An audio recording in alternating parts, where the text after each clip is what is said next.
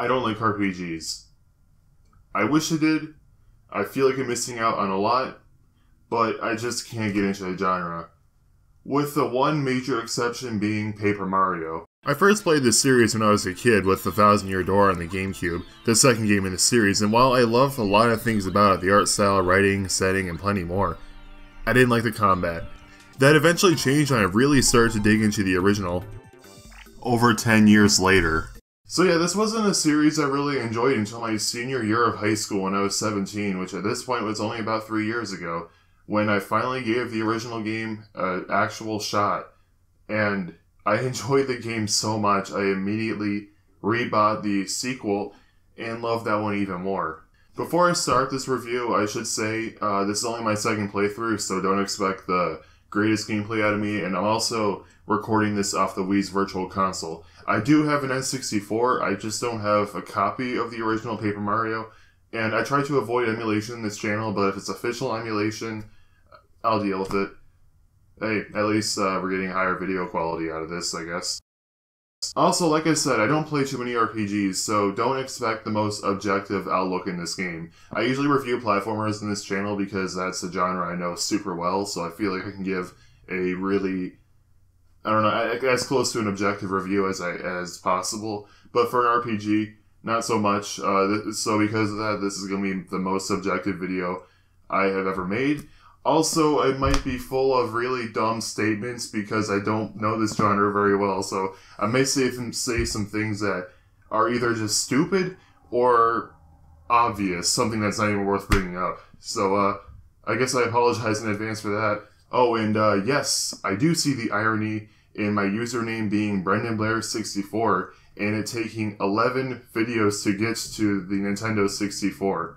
I want to go by my actual name but Brendan Blair was already taken, so me being a stupid Nintendo fan attached that number at the end. That is my origin.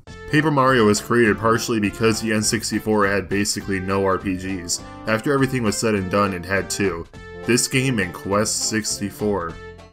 This happened because the developer that made the SNES the RPG machine that it was, Square, left Nintendo for PlayStation because you can fit way more in a CD than an N64 cart.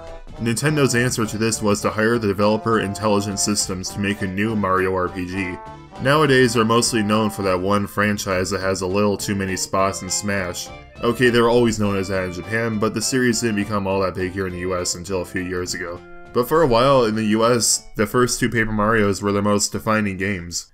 Paper Mario started development as a sequel to the previous Mario RPG being Super Mario RPG, simply titled Super Mario RPG 2, but due to some licensing issues with Square and the name, they had to change it to Mario Story in Japan and Paper Mario everywhere else, which I believe those two names are much better, considering this game looks and plays nothing like Super Mario RPG, and the final names fit the storybook aesthetic this game has much better.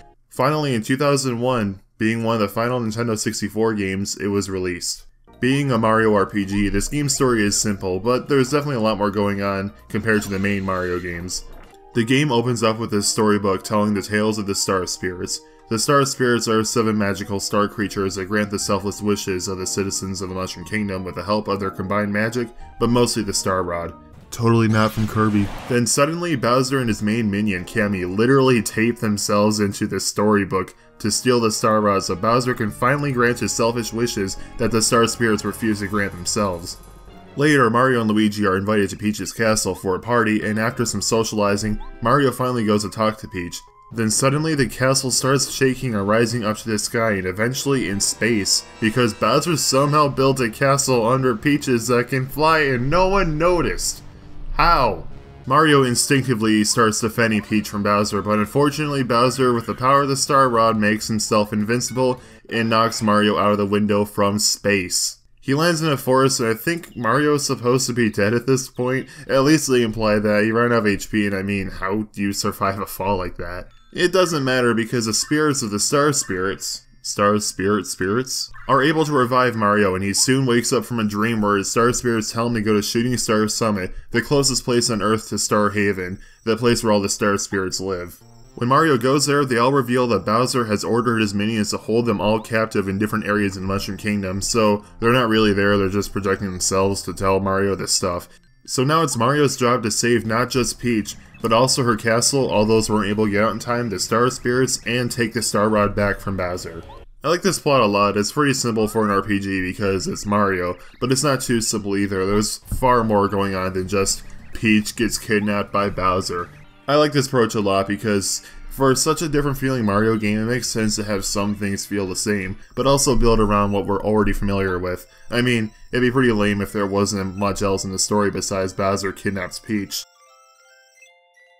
The gameplay, unlike almost every game I've ever reviewed, is not a platformer but a turn-based RPG meaning there's a lot of areas to explore, puzzles to solve, experience to earn, and bosses to fight. It being a turn-based RPG, the combat isn't as simple as just jumping on the head of a Goomba. Instead, you're gonna have to take turns attacking the enemy. The game really eases you into the system, and I feel like it might ease you in a little too much because the first 20 or so minutes of this game, the combat is just pressing A, well, keeping an eye on your health. Or heart points as this game calls it, or HP for short. It thankfully doesn't take too long for it to start introducing new mechanics. At first you can only jump on enemies, but then you get the hammer pretty quickly. At first it's not clear why you would use a hammer over the jump or vice versa, because they do the same amount of damage, but then the game throws spiked and flying enemies at you. You can't jump on spikes and you can't swing your hammer at an enemy that's too high up, so you have to use whatever attack won't get you killed. The game continues to slowly introduce more and more elements to add more strategy to the game. Like it quickly explains how encounters work, like you see all the enemies on the overworld and you can first strike them, which does more damage to the enemy before the battle even begins, but enemies can do the same to you, which makes certain enemies like Koopas terrifying. And it's not long until you learn action commands. It's this mechanic that either makes your attacks more potent or allows you to dodge. You dodge by pressing the A button at the right time. But dodging doesn't make it so that you don't take any damage unless it's a weak attack, but it does save you 1 HP each time you do it, which doesn't sound like much, but it really builds up after just a few turns. With some enemies like Fuzzies, it's incredibly hard to tell when you're supposed to dodge, others are way more obvious. The action command you need to do to make your attack stronger varies from attack to attack. Sometimes it's just pressing A at the right time, others you have you mashing buttons as fast as you can, or maybe a good old QuickTime event. There's a lot of different action commands throughout the whole game, and they get more and more interesting as the game goes on. A lot of these attacks are called special attacks and will require FP or flower points to perform, because these attacks are more powerful than the standard ones. Deciding when to actually use these attacks adds another level of strategy I appreciate because you only have so much FP and sometimes you might want to save your FP for harder enemies. Another thing the game introduces early on are badges. You get a badge not too long into the game. Badges are these equipable items that grant Mario special perks, whether that be make Mario's attacks more potent at the cost of some FP or making fighting overall just a bit easier. One of my favorite badges is the Zap Tap badge. A badge that permanently electrifies Mario, making him dangerous for most enemies to attack, and even making him invincible against certain enemies like Fuzzies. There's a partner swap badge, a badge that makes it so you don't have to use a turn to change partners. The Happy Heart badge is another good one. It slowly refills your health throughout the battles. Probably the best one, and or at least potentially the best one, is the Power Bounce badge. I say potentially because its usefulness is entirely dependent on how well you can time your action commands, because if you continuously time your A presses just right, Mario will never stop bouncing on an enemy, meaning you could potentially kill any enemy in the entire game, even bosses, with just one turn. I'm not very good with it, but that didn't stop me from trying to use it on every boss. How many badges you can equip depends on your BP, or badge points, the better badges tend to cost a lot more BP, while the weaker ones cost close to nothing. You can actually upgrade your BP and even HP and FP through leveling up. You level up in this game through experience, or star points as this game calls it. You get star points from battling enemies and bosses. How many star points you get depends on what level you're at and how strong the enemy is. Like a Goomba will only give you a few star points if you're a level 1, but if you're at, I don't know, level 20, you'll get nothing. It takes 100 star points to level up, and when you do, you get to choose what stat to level up first. Meaning if you want to be a glass cannon, you can upgrade your FP and BP almost exclusively, or if you want to play it safe and keep everything even like me, upgrade your stats evenly. This provides for some variety in how you want to play the game, which is always nice. There's a lot of different enemies in this game. Some are entirely original like these Clubba guys or Bzaps, but you'll mostly be seeing more traditional Mario enemies like Goombas, Koopas, Monty Moles, Fuzzies, Buzzy Beetles, Pokies, Piranha Plants, Bob-ombs, Bullet Bills, and Shy Guys. There's plenty more recognizable enemies and even a lot of variations that come from the main series games too. Like Paragoombas and Bony Beetles, but it's mostly Paper Mario exclusive enemies like Spike Goombas, Putrid Piranhas, Dark Koopas, Pokey Mummies, and probably my favorite, Gloombas. They're all harder versions of their original counterparts, usually with one or two major differences, like Spike Goombas are just Goombas, but you can't stomp on them. Poison Pokies and Putrid Piranhas have a high chance of inflicting you with a poison status, which does 1 damage each turn until it runs out. Gloombas are really just Goombas that can hit a little harder, but I like them because they're kinda sorta from the main games, they're based off the blue Goombas from the underground levels of Mario 1, except there they were just Goombas in the dark so they look blue, but here they're an entirely different species. It's a small thing, but just kind of like how they interpreted a certain enemy in a completely different way from the main games. Oh man, Dark Koopas are probably the most annoying enemy in the game because they can continuously make Mario dizzy over and over, meaning you can't move so you have to rely solely on your partner, which is a problem depending on what partner you have. I'm surprised I went this long without talking about the partners. There's many different characters you come across in this game that eventually decide to join Mario on his journey. They all have their own reasons for doing so, like Goombario is just a massive fan of Mario, so he wants to help save Peach. Kooper wants to become a world-famous explorer like his neighbor and hero, Kolorado. Parakarry is just a mailman who lost all of his letters, so he already wants to explore the world to find them, so might as well save the princess on the way, right? I really like how all these are iconic Mario enemies, like Sushie is a Cheep Cheep, Lakilester is a Lakitu. I really love how they made Watt into a little Sparky from Super Mario World. You know that one enemy that appears once in the whole game and until this point hasn't appeared in any other game? I really love that game, so to see them bring back such a little known enemy from that game is so good to me. They all can fight in battle, and they're all very different from each other. Some are pretty dang useful, especially Watt. A lot of the enemies in this game have this thing called defense, meaning they'll take less damage from you when you attack them. But Watt completely ignores that stat, and I love that so much! She even has this one special attack that stuns everyone on screen, and that is so useful. She's probably the best partner of the game, especially after you upgrade her Bombette is a character I really should have used more throughout the game because I only realized how great her special abilities were sometime in Chapter 7. She can blow up everyone on screen while doing some pretty decent amount of damage. The FP cost is high, but it's one of the better special attacks, so it's worth it. Goombario being one of the less useful party members is the first party member you get, so he is the most basic. He can really only bonk on enemies and tattle. Tattling enemies allows you to permanently see the enemy's HP from then on along with getting a nice little description that gives you some ideas on how to fight the enemy and what it's like.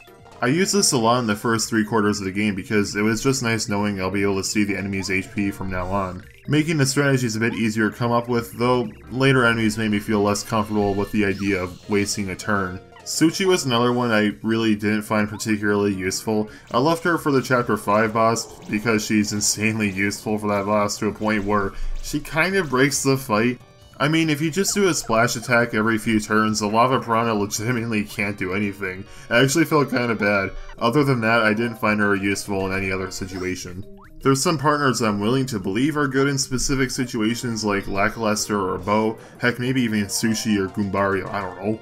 I just didn't experiment enough because I felt content with Watt pretty much in every situation. In retrospect, I probably should have given every other party member more of a chance for the sake of the video, but I didn't think about that until I started typing the script out, so whatever.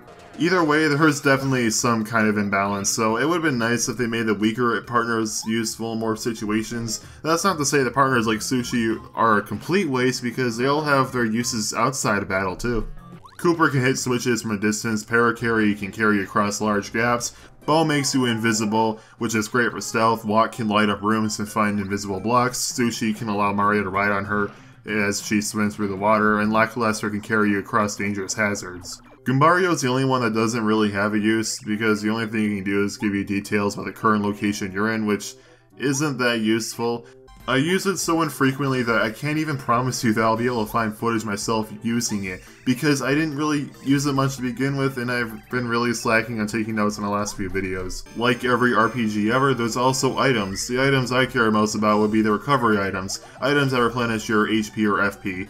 I mostly care about the HP ones, you know, the thing that determines whether or not you die, but it's also good to have a few FP recovery items. There are items that replenish both, probably one of the better ones would be the Whacka Bumps. You get them after hammering the one Whacka in the game.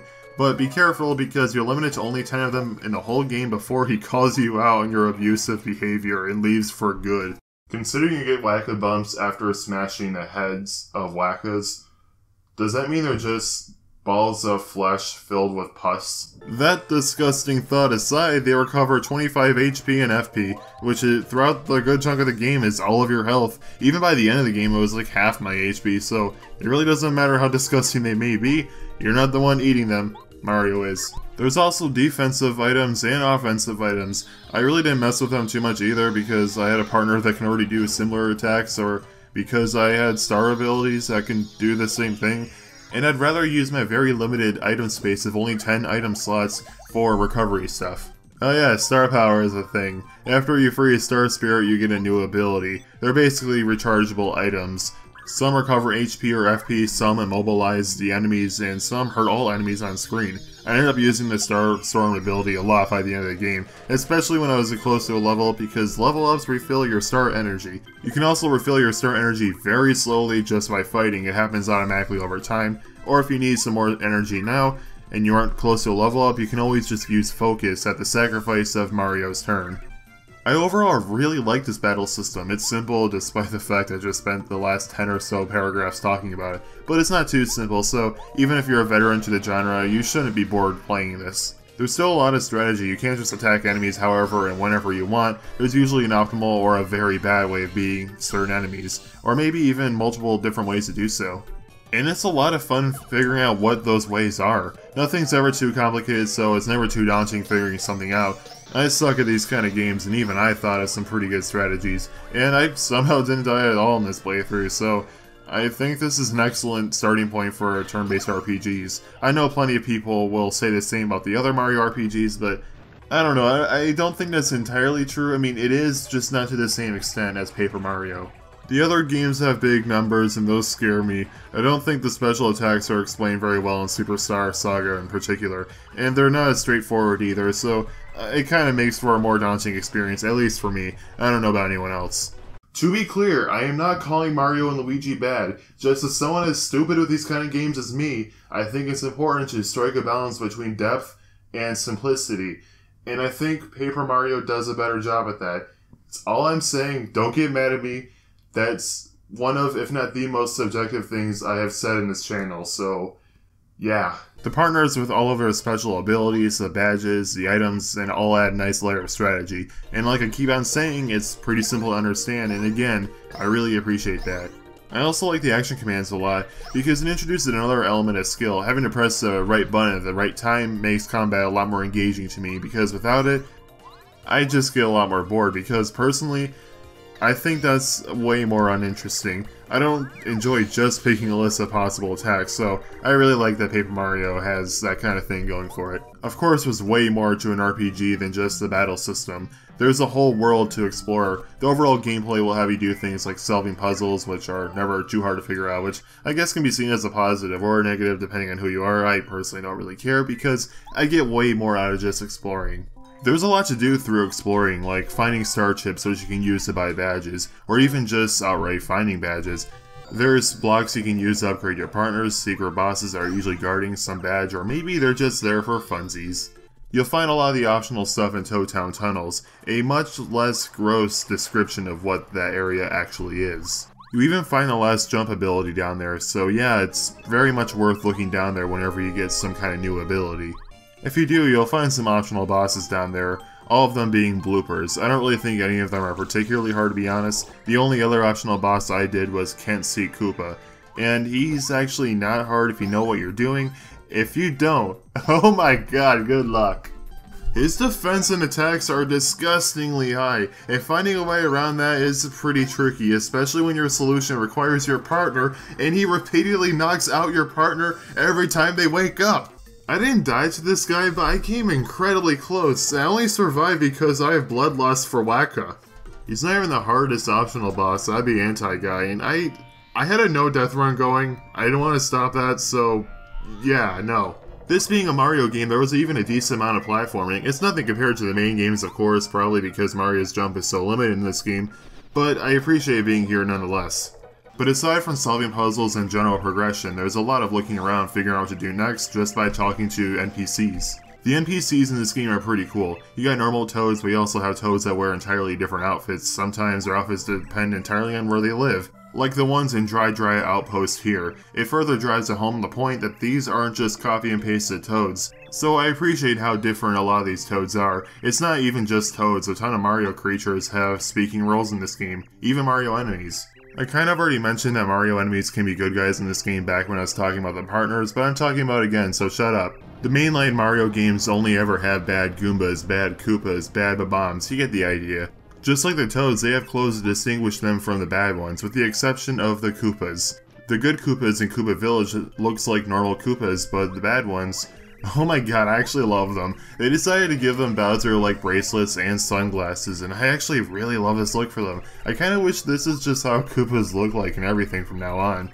They don't even limit themselves to well-known Mario enemies, like Mousers are a species in this game, and camels. I don't think they're actually from anything, but I like them. Anyway, there's a lot of dialogue in this game. Some of it is world building, others give you hints, some are just funny. Mario RPGs are known for their sense of humor, and Paper Mario is no exception. The first couple sequels are definitely funnier, but this game still has a lot of great moments.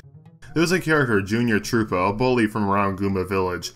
He's an early boss and Mario beats him up pretty easily. He continues to fight Mario several times throughout the game, not because Bowser ordered him. No, no, he's just that petty and refuses to accept Mario is stronger than him. The extreme lengths he goes through is pretty entertaining, like, after the chapter you go to an island, just as you leave, you see he swam across the entire ocean just to get to Mario. When he finally arrives, he looks off in horror as he realizes that Mario just left and he's gonna have to swim through the ocean again. There's also a part in Chapter 7 where you fight him in the snow, and when you beat him, he just lays there, and if you leave and come back, he's completely frozen. He stays there the entire chapter. I really don't want to spoil too much, but there are a lot of great moments in this game, and it's so cool to see a Mario game this charming. I kind of want to talk about the graphics for a minute because, wow, I think this might actually be the prettiest N64 game out there. Games with stylistic art styles tend to age the best. It's why many people love Wind Waker's graphics so much, and I think Paper Mario is one of those games. It goes for this pop-up book look. Everyone's made out of paper, and the levels themselves are like dioramas, and I mean, look at how you enter buildings in this game. Instead of relying on full 3D models, Paper Mario instead uses 2D sprites. Or, uh, textures, I'm actually not sure. Either way, they're not 3D models, so this game aged better than most games of this era. Obviously the actual environments are fully 3D, but it still doesn't look nearly as polygonal as any other game at the time. I'd assume it's because they're able to squeeze a lot more out of the hardware, thanks to the lack of character models and the restrictive camera. Either way, I really love how this game looks, and a big part of that are the redesigns. Paper Mario with its different art style prompted intelligent systems to give everyone soft redesigns, and I really love what they did with Paper Mario. Everyone looks more cartoony compared to how they look in the main games, and I've always been a big fan of with how they did Mario in these games. The dot eyes, the round body, and the lack of legs combined with how he walks.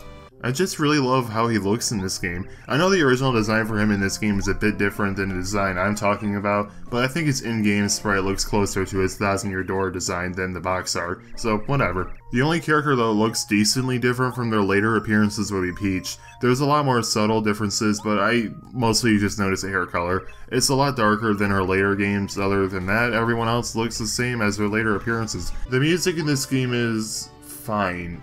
I don't know, it's just that none of it really stuck out with me. There's a few songs I thought were catchy while playing this game, like the title screen theme, Toad Town, or Goomba Path. It's all fine, it makes for fine background noise, but this soundtrack isn't really something I go out of my way to listen to, unlike some of the later games. Just like how the 2D games tend to have 8 worlds, Paper Mario has 8 chapters. Each chapter have their own stories to tell and people to help. The first one is pretty standard, it's aggressive feel that ends with a castle. It's a Mario game, so I guess it makes sense to start off with something recognizable. The second is a canyon, followed by a desert, then an ancient tomb. Chapter 3 is when the game really picks up. It's this area with a haunted mansion full of boos who want Mario's help. There has been this invincible monster named Tubba Blubba terrorizing all the boos of the mansion, especially the nearby village, by eating them. I somehow don't think boos would be the most filling thing ever, but whatever. The key to defeating this invincible creature is to find his heart and attack it which is remotely controlling him. So he may be invincible, but his heart isn't. That sounds like a cheesy tagline to some romantic comedy. Anyway, the game really picks up from here. Chapters 1 and 2 really aren't that interesting, you know, grass and then desert. But then from then on, it gets pretty interesting. There's a penguin murder mystery where a woman lies and says she saw Mario do it. Stupid lying penguin bit. A toy box that's filled with Shy Guys that you explore by shrinking down. There's even a level heavily based on Yoshi's Island, complete with Shy Guys, Ravens, and Yoshi's Island music. Oh, and uh, Bag Yoshi. There's actually a lot of Yoshi's Island references in this game. I approve. Despite all of this, I still feel a lot of these levels are, I don't know, kind of standard. With the exception of the Toy Box and to a lesser extent Tubba Blubba, these are all levels that would feel right at home in a new Super Mario Bros. game. Don't get me wrong, I still feel what you do in these levels is what makes them feel unique, but it's undeniable that more interesting theming would have been better. In the whole game, there's only one chapter I outright dislike, Chapter 6, Flower Fields. I like the theme, that's not what I call a standard Mario theme, but there's a lot of back and forth. This whole chapter is a giant fetch quest. Get the thing to get the other thing to get the other thing and so on. I don't think this chapter is awful, in fact I think I might only dislike it as much as I do because the rest of the game is so good, and this one is actually kinda weak. At least the fight is kinda good. Huff and Puff, he's one of the harder bosses. Every time you hit him, an enemy spawns and they could actually attack you, and Huff and Puff can even absorb them to regain his HP. So you have to use some attacks that hurts every enemy on screen. My only problem is my thumb gets really tired after all the button mashing. Thanks to stuff like this, every boss in this game feels so unique from one another, and it feels so good to exploit each of their weaknesses. Aside from the main characters, there's also the Peach sections. In between each chapter, there are sections where you play as Peach where she does things like sneak past guards, solve puzzles, bake cake, participate in a game show, and later on even disguise herself as Koopatrols or Clubbas.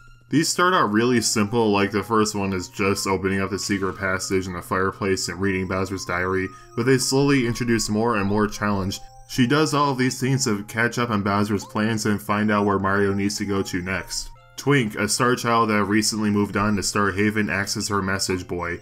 He goes to and from Peach's castle to Mushroom Kingdom to deliver messages to Mario and sometimes even items. I actually really like these, it's pretty cool to see what Peach is up to, that's not normally ever the case. It also means Peach is actually useful in this game, which is incredibly rare. These are also just fun little sections that add a lot to the story, and it's fun to see Bowser's excitement for his unstoppable minions, along with his inevitable disappointment when they fail. And then there's Chapter 8.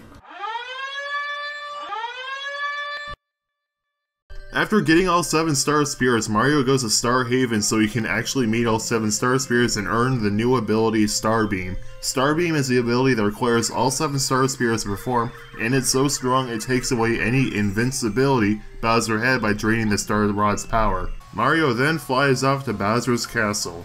Bowser's Castle is the hardest part in the game. Go figure. It's full of the toughest enemies and the hardest puzzles. I say hardest, but only one tripped me up a bit, and there's still some pretty cool stuff here. Turning the lava into solid rock, raising and lowering the water level, and there's even these quizzes. The last of these quizzes isn't really a quiz, but a challenge to rematch the Koopa Bros, but then Junior Troopa shows up out of nowhere and knocks out the Koopa Bros. When you defeat Junior Troopa for the final time, the quiz guy doesn't know whether or not to let Mario pass because he doesn't know if that counts. I love this game. There's very few toad houses in Bowser's Castle. In fact, the ones that are there are actually jail cells with toads, and you actually have to work for them by killing the nearby guard to collect a key. For that alone, this stage is a lot more deadly, and it shows how far Bowser has gone. You see all these toads locked up and talk to them, and a lot of them really wish they didn't go to Peach's party to begin with. Once you get past all of Bowser's guards and make it to Peach's castle, you see the window Mario fell through in the beginning of the game and finally meet up with Peach, and then fight Bowser. The first fight isn't bad, he does a lot of damage, but assuming you have a lot of recovery items like you should, he shouldn't be a problem. Just block when you can and use your strongest abilities, and Star Beam him whenever Bowser uses Star Rod and he'll go down quickly.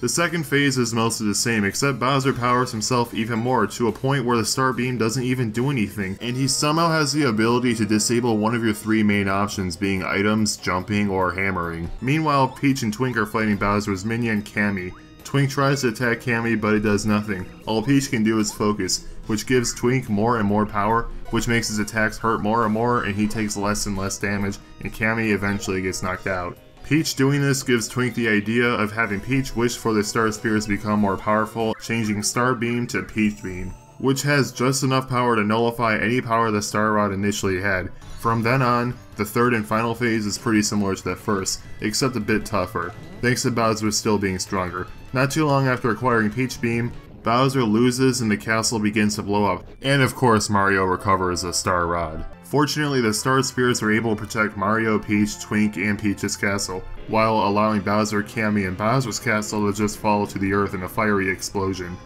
Hey, weren't there toads locked up in Bowser's castle? They never got out. Oh well. After everything's said and done, Peach invites Mario and all the other heroes to the castle for a party. Oh, and uh, Luigi.